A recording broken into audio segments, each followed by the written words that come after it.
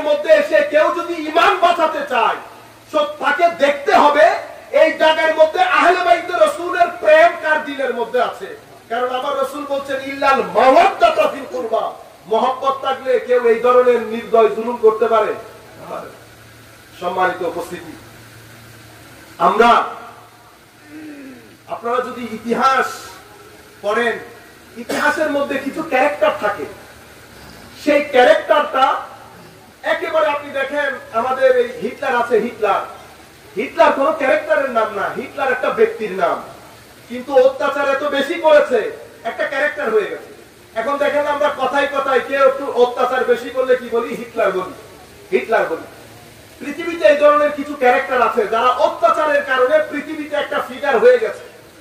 ফেরাউন, এখন আমরা গালি দেই। কেউ অতিমাত্রায় জুম করলে আমরা কি বলি? যুগের ফেরাউন। যুগের এভাবে ইয়েজিদ সে এমন একটা ক্যারেক্টার হয়ে গেছে যে তারপরে মানে ইয়েজিদের নাম রাখা, ইয়েজিদের নাম মুখে নেওয়া, ইয়েজিদ ইটসেলফ ধ্বংসের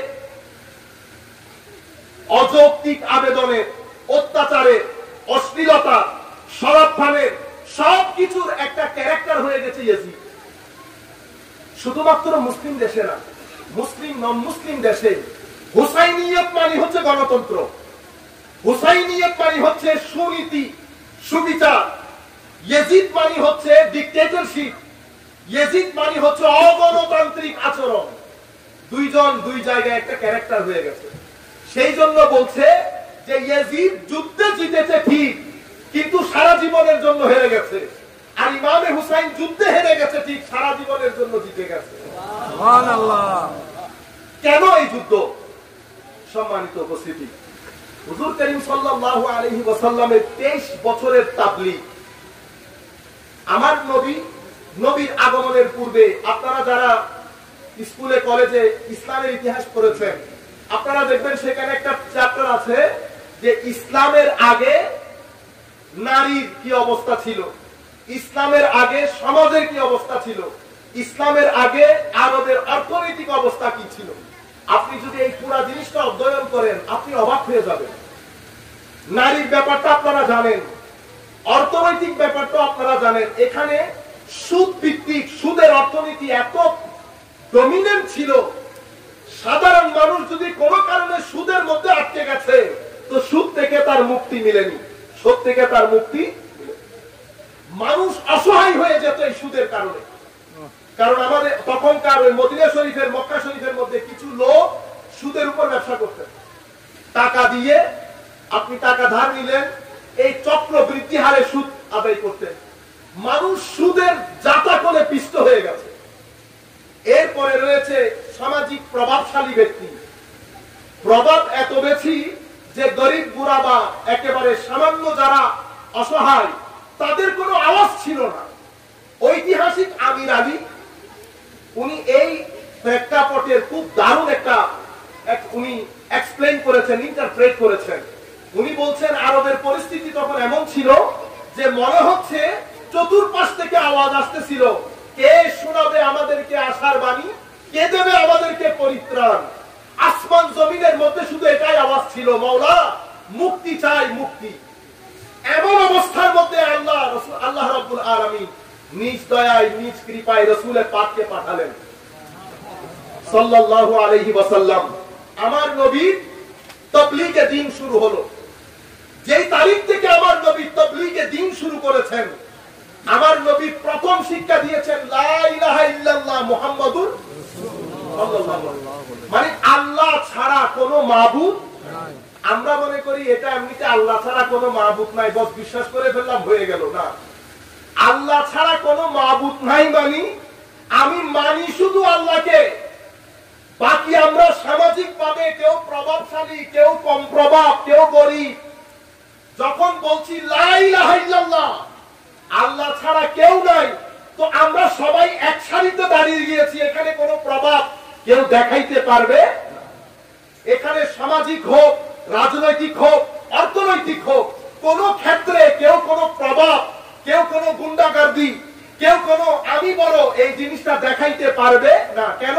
কারণ ইলাহ একমাত্র আল্লাহ, উনি হচ্ছে মাহবুদ আমরা যার উপাসনা করি, আর আমরা সবাই তার দাস।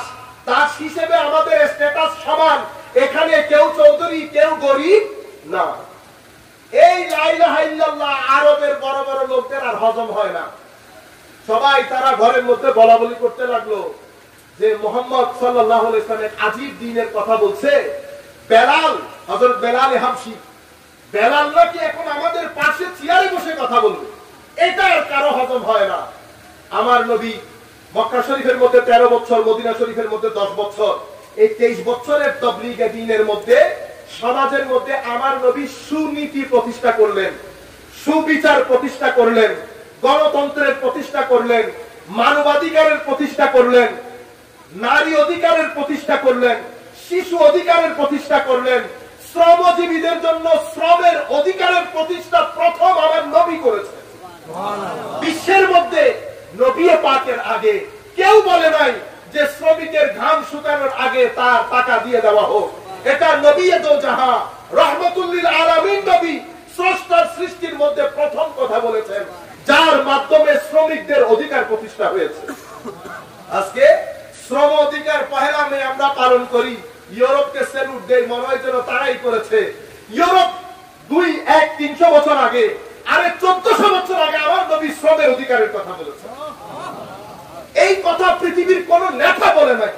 পৃথিবীর কোন হিতৈষী বলে নাই যে শ্রম শ্রমিকের ঘাম শোকানোর আগে তার টাকা তাকে দিয়ে দিতে হবে।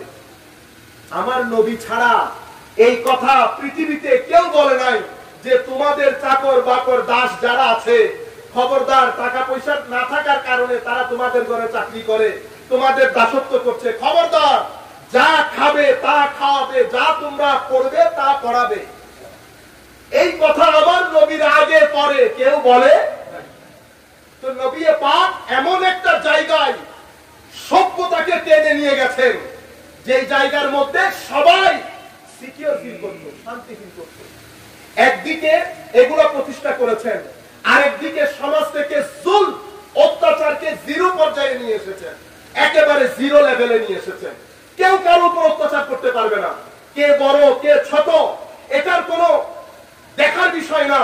সেই ব্যক্তি আল্লাহর দরবারে সম্মানিত, যার তাকুয়া বেশি, যে বেশি পরহেজগার, যার চরিত্র বেশি সুন্দর, যার মন বেশি সুন্দর, যে বেশি উদার, যে বেশি সুশীল যে বেশি ভালো, যে বেশি জনকল্যাণকর, সেই ব্যক্তি আল্লাহর দরবারে যেমন ভালো, মানুষের কাছেও তেমন ভালো। এখানে কোন স্ট্যাটাস থাকবে এভাবে আমার নবী নারীদের অধিকার প্রতিষ্ঠা করলেন। করে সমাজের মধ্যে এমন একটা শান্তি প্রতিষ্ঠিত হয়ে গেল। বিভিন্ন জায়গা থেকে নন মুসলিমরা অমুসলিমরা মুসলমানদের দেশে চলে যেতে লাগলেন। কেন? তো মুসলমানদের দেশ নিরাপদ। মুসলমানদের দেশ নিরাপদ। মুসলমান একটা পর্যায়ে তো এমন হয়ে গেছিল যে প্রতিবেশী মুসলমান থাকলে সেই জায়গার দাম বেড়ে যেত। কেন? তো কোন রকম মুসলমানদের পাশে জায়গা নিতে পারলে হয়। কারণ মুসলমানরা তোমাকে না খাইয়ে খাইতে পারবে না। কেন? কারণ মুসলমানরা প্রতিবেশীকে না খাইয়ে ঘুমাইয়া গেলে বেইমান হয়ে যায়। এই জায়গা থেকে আমরা এখন এখানে এসেছি। তো বলতে যেটা চাচ্ছিলাম সর্ব অবস্থায় পরিবর্তন তেইশ বছরের মধ্যে করে ফেলেছে আমার নবী। কোন যুদ্ধ বিগ্রহ নাই। কোন কেউ দেখাতে পারছে না। এক সাহেব এসে বলতেছি আর পুরানা ফ্যামিলির এক মহিলা নাম ফাতেমা চুরি করেছে। তো চুরি করার যখন কোর্টের মধ্যে চুরি করলে হাত কেটে এমন কথা না। চুরি করবে, কেস কোর্টে যাবে কোর্টের মধ্যে কেস চলবে, দীর্ঘদিন চলার পরে সাক্ষী ক্রস সবকিছু করার পরে তারপরে বিচারক, যেটাকে আমরা কাজী কুজাত বলি, প্রধান বিচারপতি, এরপরে প্রধান বিচারপতি সাক্ষী ইন্টারপ্রিটেশনের উপর ভিত্তি করে জাজমেন্ট দিবে। তো জাজমেন্ট হয়েছে হাত কেটে দেওয়া। তখন এক সাহাবি এসে বলছেন, ইয়া রাসূলুল্লাহ, উনি কিন্তু বড় প্রভাবশালী পরিবারের মেয়ে। আমরা কোনোভাবে ওনার ওই জিনিসটা একটু এক্সকিউজ করে ওনাকে এই পানিশমেন্ট অ্যাপ্লাই করা থেকে একটু এক্সাম একটা এক্সামশন দিতে পারি না। মানে একটু ছেড়ে দেই, যাতে সম্পর্কটা ঠিক থাকে। আমার নবী জবাব দিয়েছেন, খবরদার, এই কথা তুমি আর বলবা না। তুমি ওই ফাতেমার কথা বলছো, আমার ফাতেমা চুরি করল, হাত কেটে দেবে। এখানে কোনো প্রায়োরিটি চলবে না। এখানে আমার ব্যক্তি, আমার জন চলবে না। স্রষ্টার সৃষ্টির মধ্যে আজীব নীতি আমার নবী প্রতিষ্ঠা করেছেন। এক আজীব সভ্যতা। ইয়াসরিব হয়ে গেল মদিনা। ইয়াসরিব হয়ে গেল মদিনা। মদিনাতুল নবী। দূর দূরান্ত থেকে মানুষ এসে মদিনা শরীফে থাকতে লাগলেন। সুনীতি, সুবিচার, পৃথিবী জান্নাতের টুকরা হয়ে গেল। কিছুদিন আগে যেখানে মানুষ যেত না, কারণ স্বাস্থ্যের জন্য ক্ষতি করেন এনভায়রনমেন্ট ভালো ছিল না। তারপরে পলিউশন ছিল অনেক বেশি। পলুশন থাকাতে মানুষ যেত না। সেই জায়গা হয়ে গেল এখন জান্নাতের টুকরা। জান্নাতের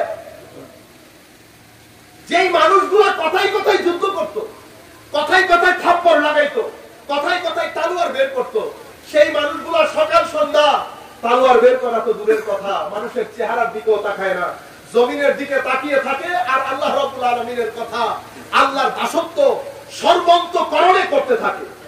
এত ভদ্র, এত নম্র, এত শ্লীল এত জেনারেস এত উদার, যেই মানুষগুলো কিছুদিন আগে যোদ্ধা ছিল সেই মানুষগুলো আল্লাহর আকাশের নিচে সবচেয়ে ভদ্র ব্যক্তি হয়ে গেল।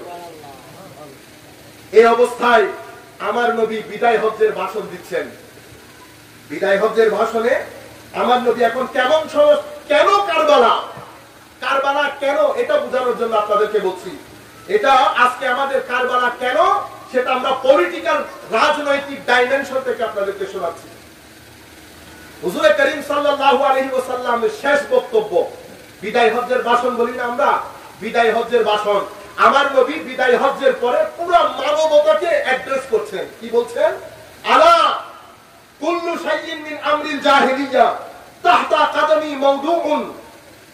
হে মানুষ, আমার পূর্বে জাহেলি যুগে যা যা কিছু হতো সামাজিক ভাবে অর্থনৈতিক ভাবে যা যা কিছু হতো সব কিছু আমি আমার পায়ের তলে দিয়ে দলে দিলাম।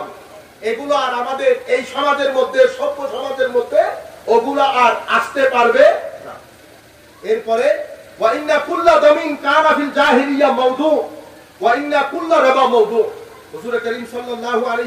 বলছেন, হত্যা, যজ্ঞ, রাহাজানি, যা কিছু সেই সময় হয়েছে, সব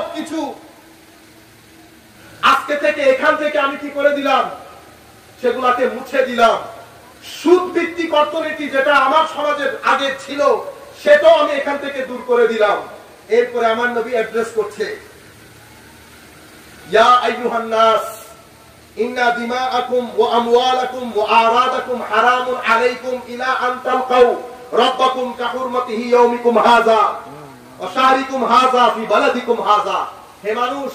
খবরদার, তোমরা একজন আরেকজনকে হত্যা করবে? কেন? মনে রাখবা, তোমাদের পরস্পরের জীবন কাবা শরীফ যেমন পবিত্র, কাবা শরীফের মতো তোমাদের জীবনও পবিত্র। কাজেই তোমরা একজন আরেকজন সাথে হত্যা, যজ্ঞে, মারামারি, কাটাকাটিতে লিপ্ত হবে। আমার নবী শেষ ডাইরেকশন দিচ্ছেন একটা সভ্য সমাজ প্রতিষ্ঠা করার পরে। এরপরে বলছেন, আলা লা তারজিউ বাদি দালালান ইয়াদরিবু বাদুকুম রিকাবা বাদিন খবরদার আমার পরে তোমরা আবার বিপথে চলে যেও না। বিপথে চলে গিয়ে একজনের সাথে আরেকজন মারামারিতে লিপ্ত হয়েও না। এখন আমরা যেভাবে বিপথে চলে গেছি, আমরা নামাজ ছেড়ে দিয়েছি। নামাজ ছেড়ে দিয়েছি আমরা মুসলমান। আপনি যদি একবার ঘুমের মধ্যে চিন্তা করেন, বিছানায় শুয়ে যে আল্লাহ বলছেন পড়তেই হবে, আমার রসুল বলছেন পড়তেই হবে পড়তেই হবে বলার পরে রসুলকে মেনে আল্লাহর দুনিয়ার মধ্যে শ্বাস নিয়ে আমরা নামাজ ছেড়ে দিয়েছি। কত বড় স্পর্ধা আমাদের, চিন্তা করে দেখতে পারবেন। এরপরেও আমরা আল্লাহর রহমতের আশা করি এবং রহমত পাই। মনে রাখবেন, নির্দিষ্ট সময়ের জন্য এসেছি। আল্লাহ মুসলমানদেরকে বিভিন্ন কষ্ট, গজব এখানেও দিবে। তবে আমরা সীমা লঙ্ঘন করলে কবরের দুনিয়া, কবরের জীবন বড় ভয়াবহ হবে। এটা আমরা মনে করছি, দুই ফিট গভীর। মরে গেছে চলে গেছে সেরকম না। হযরত আবু বকর সিদ্দিক বলছেন ইন্নাল কবরা আউয়াল মানজিলি মিন মানাজিলিল আখিরাহ কবর আখিরাতের মঞ্জিল সমূহের মধ্যে প্রথম মঞ্জিল। যেই এই কবরের মধ্যে বেঁচে গেছে বাকি স্তর আসান হয়ে গেছে। যে এই কবরের মধ্যে আটকে গেছে বাকি স্তর অন্ধকার হয়ে গেছে।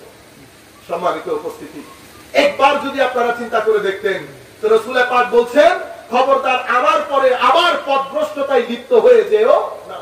যা আমি হারাম করেছি, আমি মদ্যপান করা, শরাব খাওয়া হারাম করেছি, তোমরা বন্ধু বান্ধব নিয়ে শরাব খাওয়া শুরু করিও আমি অশ্লীলতা হারাম করেছি, তোমরা অশ্লীলতায় লিপ্ত হয়েও না। আমি ঘুষ, সুদ এগুলাকে হারাম করেছি, জুলুমকে হারাম করেছি, এগুলাকে হালাল মনে করে একেবারে নজওয়ানের মতো রাস্তার মধ্যে হাঁটাহাঁটি করিও মনে রাখবেন, আমরা এখন হয় না রাস্তার মাঝখানে হাঁটি। মুসলমান মুসলমান কখনো রাস্তার মাঝখান দিয়ে হাঁটে না। হজরতে লুকমান আল ইসলাম যখন নিজের ছেলেকে উপদেশ দিচ্ছেন, বলছেন, হে বৎস, আমার ছেলে, রাস্তার পাশ দিয়ে হাঁটবা, ভদ্রতার সাথে এবং নম্রতার সাথে। আল্লাহর পীর আউলিয়া দরবেশরা রাস্তার পাশ দিয়ে হাঁটে, মাথা নিচু করে হাঁটে। আপনি গুন্ডা কীভাবে চিনবেন সমাজের মধ্যে? গুন্ডা যে ব্যক্তি নিজেকে বড় পাওয়ারফুল মনে করে, কেন? হয়তো টাকা দুইটা পকেটে এসেছে অথবা বল পকেটে এসেছে। বল মানি হচ্ছে আমি যে রাজনৈতিক দল করি সেটা ক্ষমতায়। সেই কারণে আমি কোন দিক দিয়ে হাঁটছি? রাস্তার মাঝখান দিয়ে। আল্লাহ ইজ্জতের কসম করে বলছি, মাঝখান দিয়ে হাঁটার লোকও দেখেছি, এই মাঝখান দিয়ে হাঁটার লোক তিন দিন পরে চিত হয়ে পড়ে থাকতেও দেখেছি। বয়স কম হলেও আল্লাহ দুইটাই দেখিয়েছেন। কাজেই রাস্তার মাঝখান দিয়ে আল্লাহর কোন বান্দা হাঁটে না। রাস্তার মাঝখান দিয়ে জালে অত্যাচারী হাঁটে। হাত নেড়ে নেড়ে দাপটের সাথে তারাই হাঁটে, যাদের উপর আমার আল্লাহ নারাজ হয়ে গেছে। যাদের উপর আল্লাহ রাজি হয়েছেন, যাদের উপর রসুল রাজি হয়েছেন, যাদেরকে আমার রসুল কবুল করেছেন, তারা কখনো রাস্তার মাঝখানে হাত নেড়িয়ে একেবারে নৌজওয়ানের মতো চলে না। হুজুরে করি হজরতে লুকমান আল ইসলাম বলছেন, হে বৎস, খবরদার বড় ইন্না আনকারা সৌ বড় বড় আওয়াজ। গাদার আওয়াজ দেখো না কেমনে করে আওয়াজ